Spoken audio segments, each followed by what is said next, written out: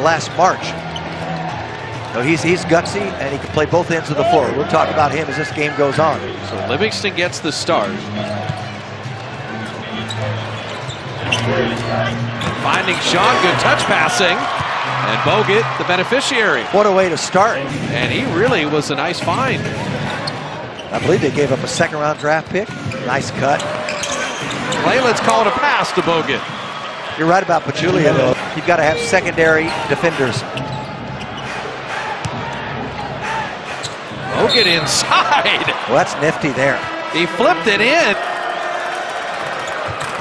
And dropped in the free throw.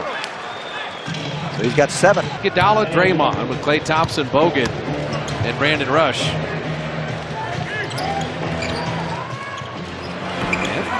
How about that? A post up for Bogut out of the timeout. That